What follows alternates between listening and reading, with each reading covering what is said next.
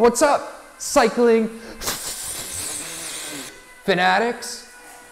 I'm sorry, I had to make fun of you. I'm sorry, man. But it's just so funny.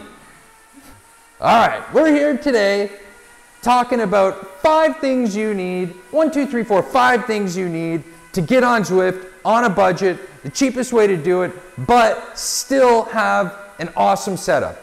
I've tried desk in the middle, desk on the side, desk in the front, small TV, big TV, iPad, computer, phone. And right now, the way I have it set up is the best I've had it set up. And it's not expensive, which is amazing. So let's get into it. I'm gonna show you what I got going on here. Hope you guys get some value out of this. Hope you like the video. Let's get into it. Let me show you what I got here. First and most important thing you're gonna need is a smart trainer. I have the KICKR and the Neo. This is gonna be the most expensive part, but I'm gonna put some trainers up here. You can get them at a reasonable price. You can spend a little extra money on a rubber floor like I have here or a mat. Not needed. You will need to get yourself a block. This is a CycleOps block. You will need to get one of those. My kid left his uh, flashlight in there, it looks like. Or you can get a less expensive one like this. Or you could put it on a couple books. Number three, and this is my favorite setup, is having the bike pushed up to this desk. We used to have this desk in between the bikes, but I love this setup more. What about you? How do you feel about it? We can have our TVs up here and just put out all your stuff. I mean, it works in between here well as well. I mean, we don't have a lot of room on this side to unclip or Gotcha. kind of feels a little tight. And being really close. This is the best part about the, the desk is you have all the room. Well, it's really a table. You have all the room you need. You got a drawer there. You have the tissues for after when you lose a Zwift race. But you have this big TV and you're nice and close to it. That's what really helps. And this TV is 50 inches. I bought it for 500 bucks like eight years ago. I would recommend trying to find one secondhand. I'll show, put some links up here.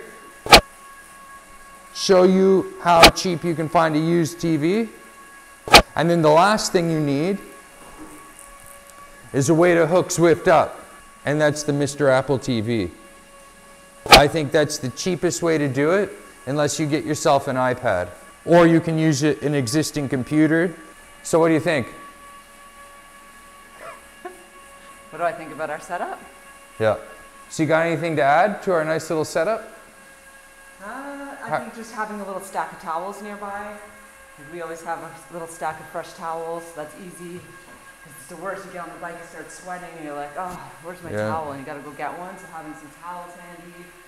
I like to sometimes just keep an extra bottle down here so I can run to the closest tap to get water.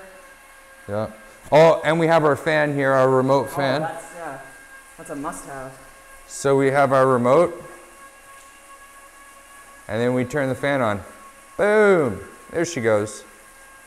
Short and sweet today, guys. Five essentials that you need to get on Zwift on a budget.